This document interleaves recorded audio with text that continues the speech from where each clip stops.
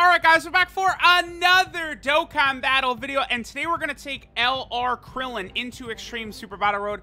This is going to be a pretty good test for him. Um, I did stack up on a lot of units on the team that'll give extra defense, because I do think Krillin will be able to be hit sort of hard depending upon the situation, so um, I do want to be careful about that. Um, I do have a couple of Kid Gohans here, um, and also I've got some Goku, so Gohan will be able to look pretty good. Okay, so that's 7 key. Um, that is a 16 key super attack, which is fine. Um, so let's go ahead and do this. Now, Krillin is an AoE unit, and he does have a chance to stun with every single attack. So, I, I mean, let's just see how this is going to go. Uh, this Goku's going to struggle a little bit. We could die on this first turn, but I want to see how this is going to go without using items. That sucks. That's not too bad. 49k is not horrible. I mean, he's not going to stack defense until he uh, 18 key super attack, so it's not going to get better than that. Hopefully, we can get some stuns. Stun, stun. Ooh, double super attacks. Obviously, that's very good. Uh, we need some stuns, though. Uh, at least a 1 in 6 chance. Okay, that's good. Nappa got stunned, so at least we got one of these dudes stunned. Gohan could potentially stun Vegeta. He did. Clutch, clutch, clutch. Okay that worked out pretty good, actually. Um, okay, so Krillin did some decent damage. I mean, here's the thing. I intentionally brought defense units uh, to help out with Krillin, but we didn't have any in turn one, right? Um, let me, because we're not going to have any defensive units next turn for Krillin, I'm actually going to go ahead and use a... Hmm. I'm going to use... This is tough. I think I'm going to use an Android 8M, and I'm going to use a Whis as well. So next turn is not going to be a good representation of Krillin's defensive abilities, right? But I'm just being a little bit more on the safe side here. Seems as though Krillin will do fine, but he might be susceptible to taking very big damage. Um, because all three of these are support type units, Great Saiyaman 1 and 2, unfortunately, are getting their 18 key super attack, which sucks. I mean, the two turn attack buff they're going to give is nice, but the sealing ability that they would have that it would have done on Vegeta would have been way better, right? So, you know, it, it is what it is. Um, once we get one of these defensive units with Krillin, it, he'll be a little bit better. Honestly, the damage he took is not too bad. I don't think Super Physical is on the same level as Super Tech and Super AGL. One of the reasons is that the leaders aren't the greatest for Super Physical. Um, Super Int kind of has this problem as well. They don't really have a dominant, you know, LR Super Saiyan 4 Goku or something like that. I mean, really, I guess I, I could say the same for a lot of typings. It's like Gohan and Super Saiyan 4 Goku for AGL have like the craziest leader skills. So they like balance it by making that the hardest stage by far, right? Um, okay, so Krillin at 114k this turn, but again, I do want to remember that it doesn't matter because this isn't, uh, like, like, like, this isn't Krillin. How many is this? Three, six, that's fine. This isn't Krillin, like, without, like, he's got defense items and stuff like that, so let's just focus more on his attack capabilities. He does stack attack on his 12 key AoE super attack, so that is good. Um, I think for a lot of free-to-play players, I think this Krillin is going to be a very large uh, part in potentially beating this stage for the first time. I mean, LR Gogeta is here. You know, him and that fusion ability of theirs, you know, you get that off, that's going to be strong. There we go. There's another stun. And another super. So I put Krillin, I think my Krillin has 11 additional and 12 crits is what I did. Another stun. Wow, okay, pretty good. What, dude, the, the additionals and the crits and stuff he's busting out are crazy right here, man. Um, but yeah, like, like I was saying, I, I, I went for sort of a mix because I would like him to get as many additionals as possible, obviously.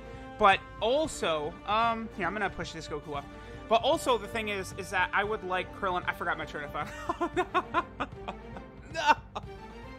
Oh, I hate Uh, yeah, Krillin, let's see, he stacks attack. Uh, I, I, I lost it, I lost I lost a train of thought. oh, no. Alright, well, anyway, Krillin's doing fine. Uh, AoE super attacks are very good in Super Battle Road because, you know, so many of these fights you're going up against so many enemies. And with him, with the chance to stun, that makes him even better, especially on a stage like this right here. So we're going up against five enemies, so Krillin has five separate chances to stun. Again, I believe he has a 30% chance to stun. 100k defense right here, okay. Um, he probably is going to be better off, yeah, with Krillin. Oh, because they have Z fighters. Uh, Krillin and the Kid Gohan have got Z fighters. That's good.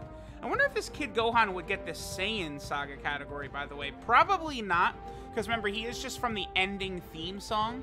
Um, and then the, the, Goku, I think, is just from artwork, right? Like, I don't think he appears in any theme songs or anything like that. But, like, this is literally the very last shot of the first Dragon Ball Z ending.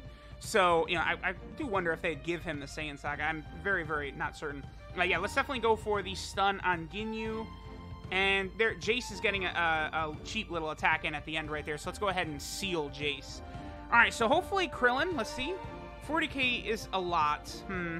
If he can get like two or three stuns though, like he's definitely carrying his own weight. So let's see, Krillin.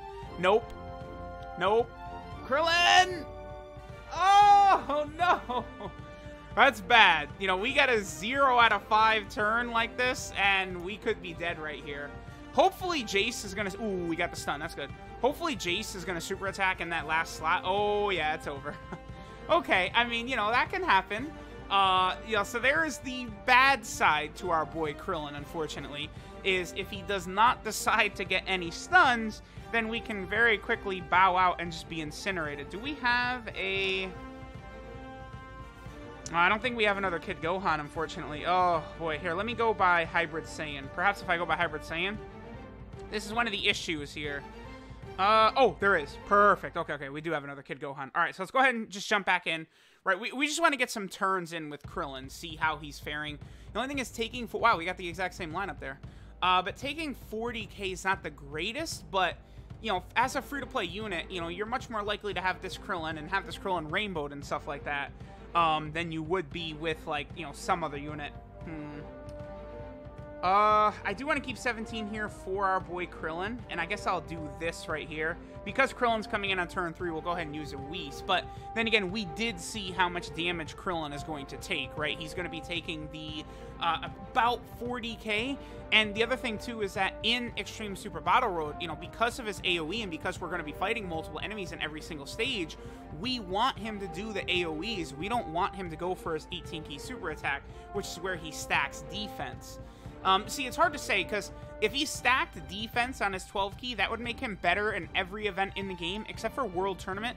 World Tournament is where him stacking attack probably is a little bit better because he does have two guaranteed super attacks in the World Tournament, and potentially, you know, you could get three with the Hidden Potential System super attack as well. So in there, you could get multiple attack stacks, you know, on the world, like this the World Tournament stage, and that Krillin could tear through enemy lineups super quickly. So that could be very, very good um, moving forward. I, am hmm, I just can't wait to use Krillin in uh, that Super Battle Road, right? Like I or uh, World Tournament. I really want to use Krillin in World Tournament and see how strong he's going to be. Because you know, I, I saw some numbers that seemed to imply that he was relative to STR LR Broly, and it's like wow, because like you know, that LR Broly has been the king of World Tournament, like, undisputed for so long. And now we have another unit that's going to be able to sort of match him that's free to play. And the reason, by the way, that Broly has always been king and why Krillin can actually approach that is because Krillin in the World Tournament will double super attack, provided that there's the full enemy team is still alive. Um, but like Krillin getting double super attacks is going to be so huge. Like that's going to be just absolutely monstrous. Okay, so here he's sitting at 100k. Again, we saw this, right? This is about 40k he's going to be taking in damage. Um, I don't want to use an item, though. Let's see. I mean, we, we could potentially die again right here, but, you know, th this is what we're trying to do is show off Krillin. Uh, yeah, 40-ish K is about where we're going to see him. Um, but, you know, if he gets crits, if he gets additionals, if he gets stuns, he could be very good. Um, if you're using Krillin going through this event... Oh, we, wow, that's really good. Putting him in slot one is probably not... thanks, Vegeta. Probably not the best idea. Like, you know, you're definitely going to want to rock Krillin probably in, like, slot two or slot three or something like that. But he does give himself key at the start of turn, three key. So no matter what, he's only ever going to need three key to get his 12 key super attack.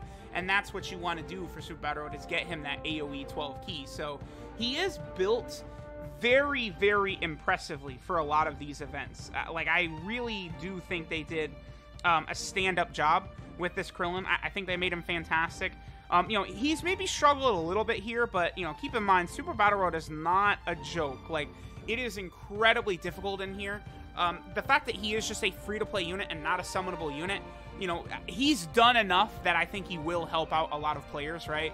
Because, again, like, super physical, I, they're because of the way the leader skills are structured for a lot of those units, it does make team building very wonky. Like, you could go, like, double LR Bardock, which would be good. But remember, you know, your boy Bardock, it, you know, is only giving 100% of stats, which is a little bit low. I went with double Kid Gohan because he's just, you know, 3 key and 120%, which is nice. Okay, so Krillin at 127k. Let's go ahead and knock out an 18 key super attack, and hopefully he can finish off our boy Raditz right here. So let me know what you guys think so far of LR Krillin here in Extreme Super Battle Road. I think he's good enough to get the job done.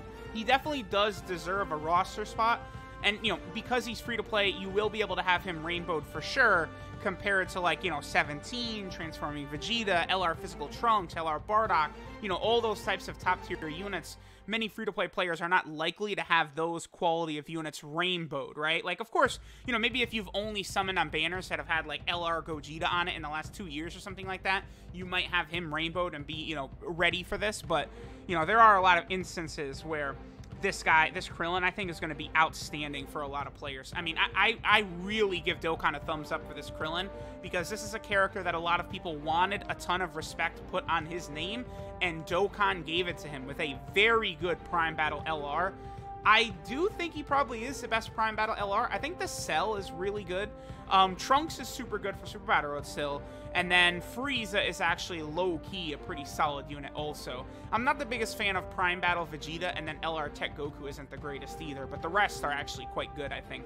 Um, so let me know what you guys think of our boy LR Krillin. I thought he did a pretty admirable job, right? Um, let me see. Is there, there's a full power category stage, so I could take him into there, see how strong he could do just on a, a step down from Extreme Super Battle. I might do that. Let me know what you guys think. Thanks for watching, and I'll catch y'all next time.